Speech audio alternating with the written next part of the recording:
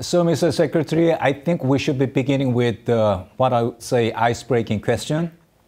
That is about our first meeting, which happened at Alfalfa Dinner, which was in June 2017. And then it feels like such a long time ago. And then at the time, you just ha- had begun to work as a director for the CIA. And a little more than a year later, then you were appointed as uh, so the 70th Secretary of State of the United States. So, so far, I think you were the first and the only American who served in those two positions. So, my first ice breaking question would be this, which is well, did your experience of working as CIA director, did it help you to perform your duty as Secretary of State? If so, how? Yes, it did. Well, first of all, thank you for this opportunity. It's great to be with you. Uh, it was, in fact, very important uh, for me to have had the opportunity to be the CIA director for about 18 months before I became Secretary of State. There are many reasons. Uh, one, it, it gave me some familiarity with a set of issues and a depth on some issues that I, I, didn't have before that when I was serving in Congress. So it was a chance to quickly come to understand challenges in the world, uh, different interactions, and to get a sense of who the various uh, players were, the various leaders in those countries. But second, uh, the president, President Trump, wanted me to be his briefer. So almost, almost every day when I was in Washington, I gave him his daily intelligence update. And that permitted me to get to understand how uh, my president, how America's president processed information, how he took on board data. Uh, it gave me a sense of his decision making process, and that proved to develop a relationship between he and I that was incredibly valuable to me in my two and a half years as Secretary of State. At the same time, I think now we can move on to a little more, say, uh, substantive issues. And uh, on November 8th, you had midterm election. But at the same time, uh, the margin of victory of Republican Party, it was not as large as it had been expected. So I think it is for that reason that some people are saying, well, we were expecting red wave, but it stopped at creating red ripple. So if you agree with that, uh, say, analysis, then what could be the reason why big red wave was not created? So I, I think what you say is in part true. Uh, I was optimistic that we would do a little bit better. My party, the Republican Party, the Conservative Party, would do a little bit better than it did. But we did pretty good. Uh, look, there's still some races that haven't been called, and that, that will prove important. And importantly, and, and this doesn't get uh, uh observed around the world as much, but we were very successful at the other set of races thinking about our state governors, who are incredibly important political actors. Right. Well, as a matter of fact, midterm election, of course, it was an election in the United States, but United States being the United States, I think it will have repercussion on various different parts of the world. And then uh, I wish to go to some of those places. And then let me start with Ukraine. And with respect to Ukraine, then Ukrainians, I think, impressed us with how valiantly and how effectively it is fighting against the second largest, largest army in the whole world. But even then, I think they depend a lot upon the United States for the materials, for the training, for the intelligence, etc., etc. So against such a background, then there is a gentleman, Kevin McCarthy, and then, uh, well, again, it is often said that he's going to be uh, the elected as Speaker of the House, and Mr. McCarthy, I think he has been saying for some time now that if Republicans come back to power, then I will stop writing blank check for the Ukrainians. So my question for you, Mr. Secretary, would be this, which is that what is the meaning of that? Stopping writing blank check. Yes. Uh, I, I don't think this midterm election will change America's commitment to supporting the Ukrainian in their fight against the Russians one bit. Uh, I think that the resources we've provided to date amount to 19 or 20 billion dollars worth of resources. I'm convinced we will continue to provide those. The Ukrainians have, as you said, uh, proven to be incredibly effective. Kevin McCarthy's comment, I know Kevin pretty well. Uh, I think what he meant uh, by that was it is also important that as we deliver weapon systems, that we ensure that they are the right systems, that they get into the right hands, that they don't go to corrupt for corrupt purposes. So what I, I, I think he meant by not writing a blank check is we have to make sure that as we provide assistance to the Ukrainians that we do it well. And then I think there is one issue which enjoys truly bipartisan support in the Congress today. That will be, uh, well, in a sense, both Republicans and Democrats, they in fact have of one view that in fact you should be effectively resisting all this, uh, all this, say, expansionist moves coming from China. So that in fact is one issue which is enjoying truly bipartisan support. But at the same time, my observation has been Republicans seems to be thinking of certain additional ways through which they could be, well, even strengthening this pressure upon the Chinese. So between Washington and, uh, and Beijing, wouldn't it, wouldn't it be the case that this collision course, we often talk about United States and China being on the collision course, wouldn't it be the case it could be accelerated? So my sense is a, a, bit different from that. Your, your point is well taken. Chinese Communist Party presents the greatest threat to the Western world, to Australia, Japan, South Korea, the Philippines, uh, certainly to Taiwan, of, of any threat that is out there. So there, you're right. There is, there's, no, there's no difference between the two parties. But there is a difference in the tools that we believe are important to confront it. I, I believe uh, that the first thing we need to do is make sure we confront it here at home in the United States. Every country needs to do this.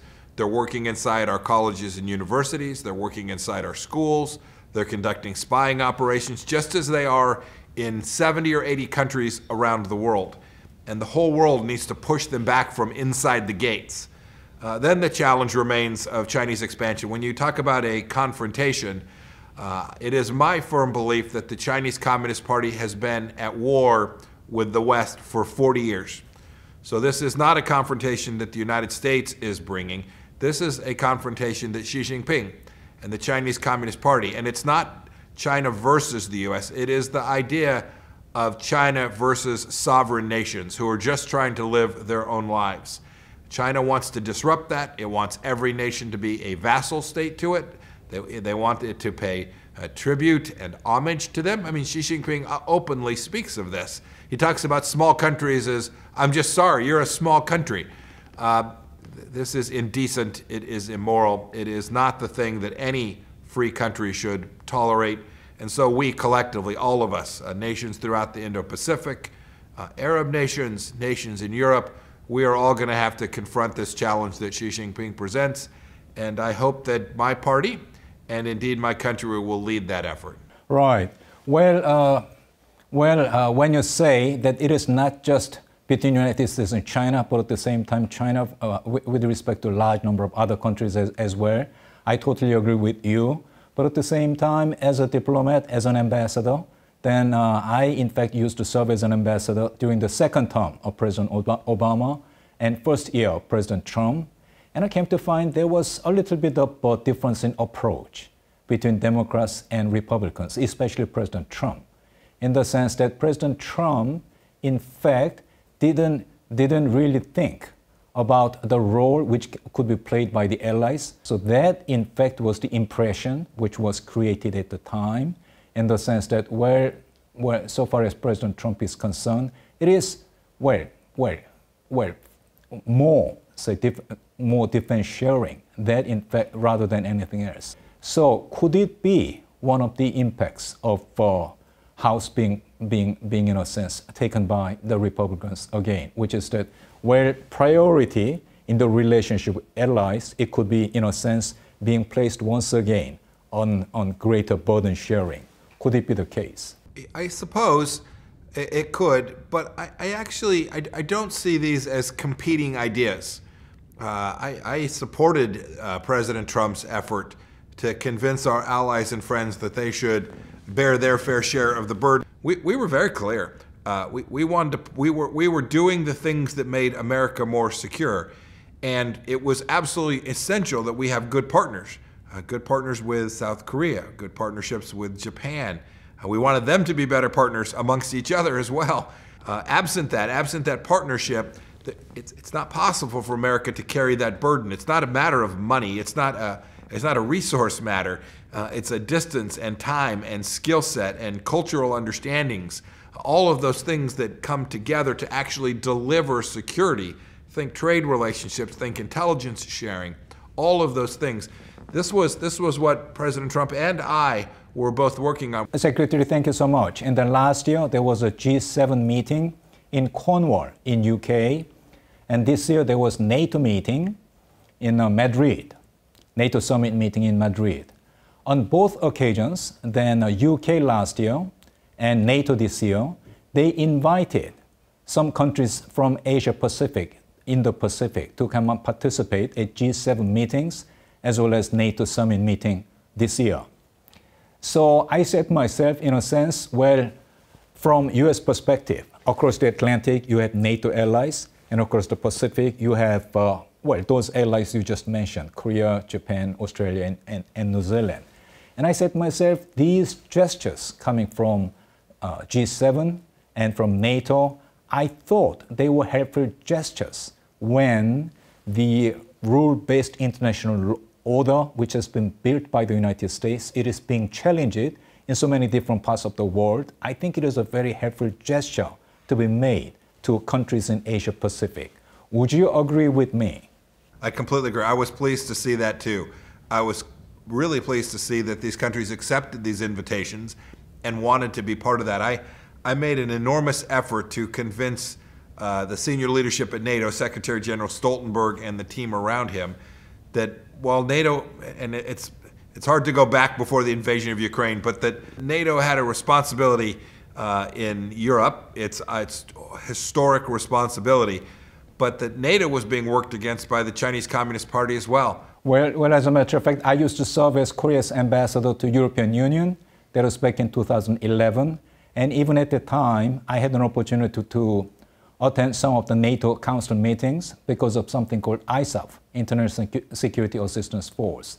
And then Korea was participating in that ISAF through something called PRT, Provincial Reconstruction Team, in, uh, in, in Parwan, in a, in, a, in a state called Parwan in Afghanistan. And then began to be engaging with NATO. And then that, in fact, culminated in uh, President Yoon of Korea this, this year to, in fact, announce at the NATO summit meeting in Madrid that Korea, in fact, would be opening representative office to NATO. Korea is not a member of NATO, but at the same time, President Yoon announced that we'll be opening our representative office to NATO. And uh, Mr. Secretary, you have been to North Korea several times, and then you met with Chairman Kim as well. And the thing is, well, this year, beginning from last year and then this year, then things are getting even worse in the sense that this year alone, North Korea conducted more than 30 missile tests. And then many of them were short range missiles, meaning, in fact, they are focusing upon short range nuclear, nuclear missiles, which can be used for delivering tactical nuclear weapons. And then they are vowing, I mean, North Korea is vowing that it will develop tactical nuclear weapons. This year, beginning from this year, they are saying, well, it is for actual use in the warfare. If there is a military conflict, then, then we will use it early on, and then we will use it massively. And all of it is being received rather seriously by the Korean public. So large number, of them are suggesting, well, we should be, in a sense, redeploying tactical nuclear weapons on the Korean Peninsula. Some of them are even saying we should be having our own nuclear program. And it is very alarming in the sense that, well, opinion poll, if we follow the opinion poll, it is 70% of Koreans who support the idea of Korean nuclear program. So I think it is necessary that we should be giving sufficient level of assurance to our citizens that in fact North Korea is behaving very badly, but at the same time uh, with United States as our ally, there is no reason to be overly to be re- uh, to be overly reacting. That I think is what is important. But at the same time, I think I know that there are certain Republican leaders who are more positively positively inclined to the redeployment of tactical, tactical nuclear weapons in Korea. So my question for you would be this, which is that when now again we are talking about uh, Republican Party or taking the House, could it raise the possibility of tactical nuclear weapons being deployed in South Korea? So we do have to remember that President Biden will still be firmly in control of America's foreign policy. Our our legislative body has some role in this, but not a tremendous one. So I think what you saw from the Biden administration in their first two years with respect to policy relating to North Korea likely to continue. And I actually think that's not a good thing. To your point, uh, Chairman Kim now feels emboldened, uh, launching right more than two and a half dozen missile systems, uh, also building his conventional forces as well. You know, I did spend a lot of time with Chairman Kim. I spent a lot of time in North Korea and with uh, Kim Young Chol and with Choi Son-hui, the senior North Korean uh, nuclear negotiators. And we failed. We didn't get the nuclear weapons out of their hands, but we, we, we did deliver more certainty. There was less risk then than there is today. Uh, and I regret that President Biden hasn't been able to maintain that, that same level of certainty. And I can see why the people of South Korea uh, feel the way that they do, feel like they are more at risk. Uh, two, two thoughts.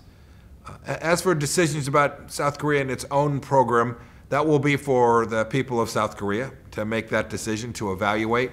But I hope that they will do so in the context of a sound American partner that they can come to trust and rely will continue to deliver. And I hope they will also remember in this context that the North Korean missile system, their program, is largely there because the Chinese Communist Party permits it to be there. When, when we were negotiating with Chairman Kim, he would always go meet with Xi Jinping, both before and after our meetings. Uh, we often talk about China and North Korea as separate problem sets.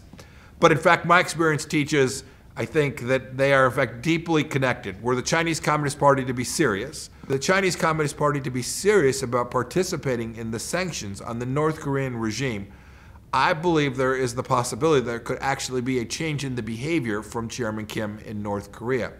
But the Chinese play footsie. They continue to provide resources and tools. They don't enforce the sanctions on energy traveling in and out of Korea. That creates real risk in the region, and the Biden administration, along with the South Korean government, needs to make clear to the Chinese Communist Party that that continued work is unacceptable and begin to impose real cost on the Chinese Communist Party to get them to bring Chairman Kim to heel. Well, Mr. Secretary, you just mentioned, you just said that during President Trump's time, uh, even even uh, uh, with respect to uh, this North Korean nuclear threat, there was higher level of certainty at the time, which in fact uh, has been has been undermined in in more recent years. So, could you elaborate by what you mean by saying a higher level of certainty? What, what did you mean by that? So there was an implicit understanding that Chairman Kim would not engage in nuclear testing. Um, we had convinced him for some of his more capable longer range missile systems that he ought not to conduct those tests, and he didn't. And indeed, for all ranges, from, from conventional artillery to short range missiles, both uh, guided and unguided, both ballistic and free fall, uh, he, he conducted fewer tests uh, in exchange for uh, a, a, little less resources being expended on joint exercises. There was an understanding. That, that brought the temperature down. Chairman Kim also understood that we were serious about enforcing sanctions. We were pulling ships from the seas off of North Korea. We were stopping coal shipments. We were working diligently to prevent the North Koreans from having the money and resources to continue to hold South Korea and the region at risk. And over time, that would have continued to reap benefits in security and prosperity for the world and for the South Korean people. This administration has simply walked away from that and isn't remotely as serious about it as we were. And then what I hear, what I read, is that, well, if there is one issue which, in fact, uh, affected the way Americans voted in the midterm election this year, this year, it was inflation. It was pocketbook issues. What is the meaning of that? I mean, what, what, what, what, what is the implication of that for the, the new Congress? I think maybe there, there is a likelihood that uh, I would call it, uh, say, economic nationalism. I think there is a higher chance for all those legislations I don't think you'll see big changes in terms of when you speak of economic nationalism, if you're thinking about uh, protectionist barriers, trade barriers. I don't think you'll see Congress be active at imposing increased levels of them. Uh, my sense is what this Congress will most likely seek to do uh, is to try and again open up the capacity for American energy to flow to our friends and partners. Uh, I hope that that's the case. We all want clean air, safe drinking water, uh, but American energy fueled the global economy for the last 10 years. We were the largest producer of crude oil and among the largest producers of natural gas, and we were a massive net exporter of those products around the world. And today we're not. That's just, that was a political decision that the Biden administration made. And the result of that is that the bad guys, uh, the, the guys who control product pricing around the world today, are no longer friends of the West.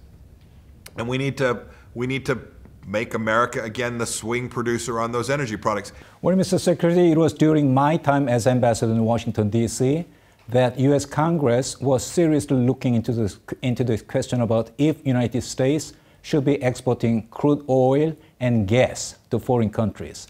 And at the time, we were getting much of it from the Middle East, from Southeast Asia, even from Russia.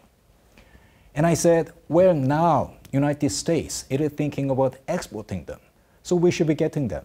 In a sense, and as a as a consumer of fossil fuel, then, of course, if there are a larger number of suppliers, it will be to our benefit. So that's, that's the benefit we could, we could get uh, from that, that uh, say, aspect. But at the same time, it can be, be helpful for us to be reducing our trade deficit or trade surplus with the United States. So that was my recommendation back to Seoul, and that in fact is the reason why we began to import natural gas, liquefied natural gas from Louisiana. But at the same time, I think there is uh, this issue about, about say, say uh, this, uh, well, climate change.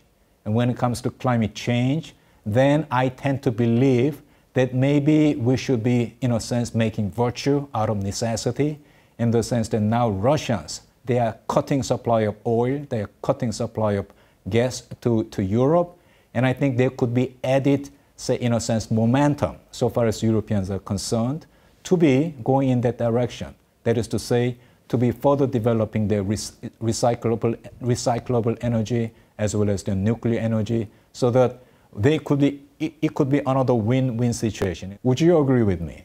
Uh, I, I, don't know. Uh, in, in some answers, in some ways yes, in some ways no.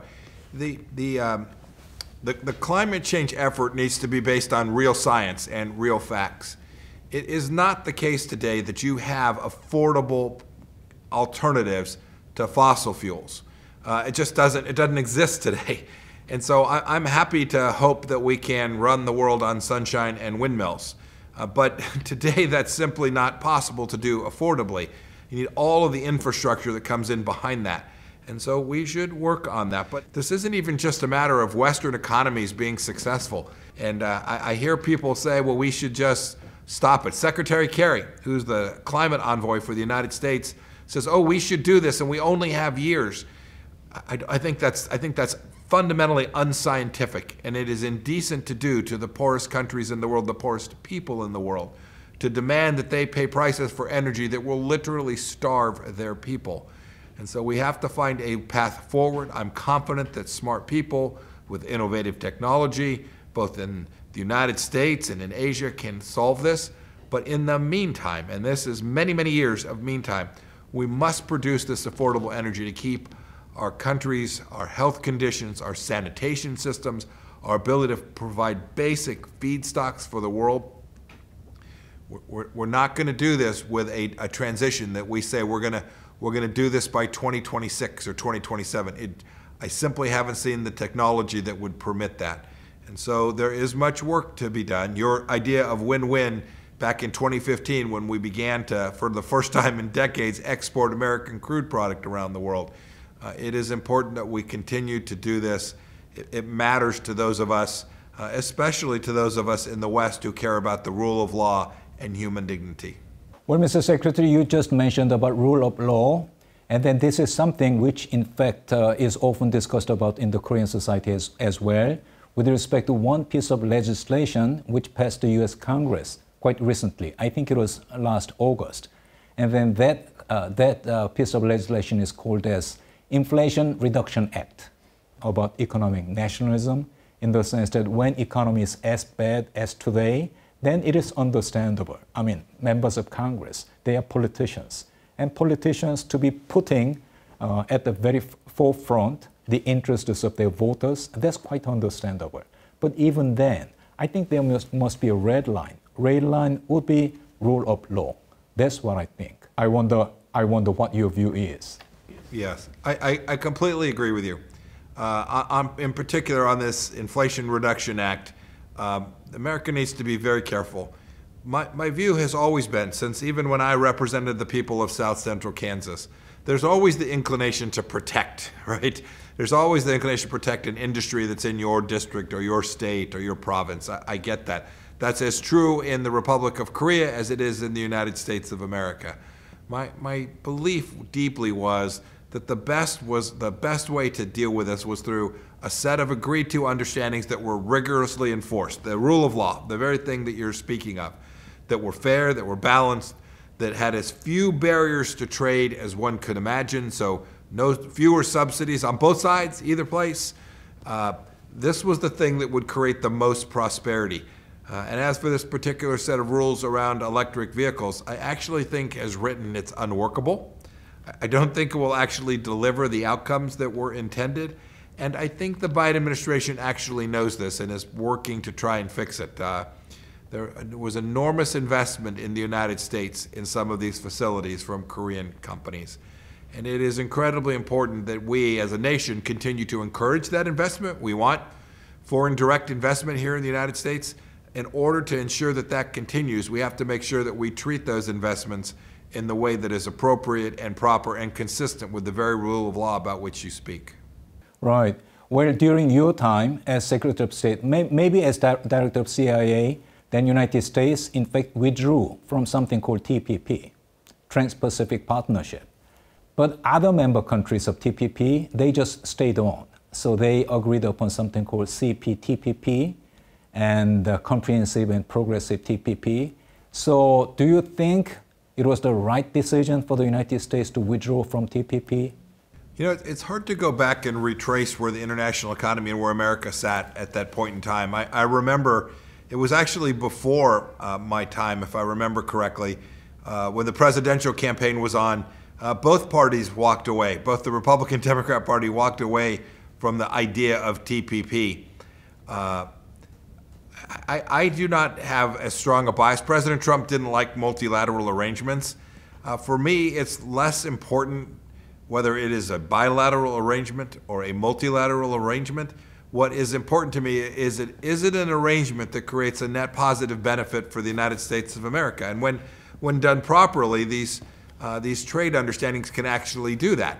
And then it was, it was done during the President Moon's visit to Washington, D.C., which happened in June uh, 2017. And I was still ambassador there. And then it was, in fact, quite embarrassing.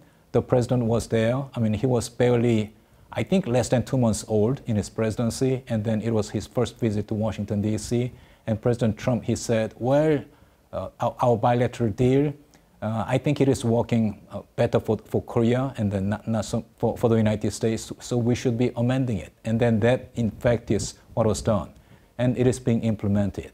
But at the same time, I think getting back to TPP a little bit, uh, you, I think you're absolutely right when you say it was during 2016 presidential campaign that President Trump, he spoke very strongly against TPP. But at the same time, uh, Secretary Clinton, she also, she also spoke against TPP, which was surprising for me because uh, it was negotiated during her time as Secretary of State. Well, this year, then uh, President Biden, he proposed IPEF, Indo-Pacific Economic Framework, and uh, I'm pretty sure you are very familiar with, uh, with uh, all those four pillars supporting this IPEF uh, pr proposal. And then the first proposal is on trade, but trade without preferential arrangement. So that, in fact, is the limit in the sense that where, where preferential arrangement is an anathema in the Washington context. But second, second pillar is interesting in the sense that second pillar is about supply chain, how to strengthen the supply chain. And then the third pillar is clean energy, and fourth pillar is all the other ideas. So they, they, they I think, the four pillars of IPEF. And then Korea has already declared our willingness to participate in and benefit from IPEF uh, arrangements. So I think supply chain, I think, is a serious issue. So uh, the, the new Congress, I very much hope that if the new Congress comes up with concrete ideas, how to, well, in a sense, substantively strengthen the supply chain, especially among U.S. allies, I think it will be much appreciated uh, by all the, all the allies in, in the Pacific. Yeah, I, I agree with you completely. I, this is something that we began in the Trump administration, uh, albeit uh, too late. So there's much work left to be done. But these supply chain issues, the, the elephant in the room in every one of these is the Chinese Communist Party. Many of these materials, these rare earth materials, uh, are controlled by China, whether they are inside of their country or they are in some country in Africa or South America. Uh, the Chinese have gotten their teeth into so many of these we need to get these supply chains straightened out in a way between partnerships for freedom loving, contract protecting, property rights believing nations that have respect for human rights. Our new Congress in Washington will take this on as a serious matter. I hope we will reach out to our partners in the Republic of Korea and our partners in Japan and actually work, and in India as well, to work on these supply chains in ways that we can all have confidence that this will work in a way that is beneficial for our own people. Well, Mr. Secretary, it was just, just such a pleasure and honor to have this opportunity to share this session with you. Then, when they talk about the new leader, then of course, one gentleman who surely comes up in my mind is, of course, you. So, so I very much, very much hope, I, I wish you the best, and then I very much hope that we will have uh, uh other opportunities to, to meet, the, meet, meet with each other. Thank you so much for your time. Thank you very much for your time. Bless you. Thank you for the kind words. I am counting on our relationship continuing and the relationship between our two countries continuing to be excellent. Thank you, sir. Thank you so much.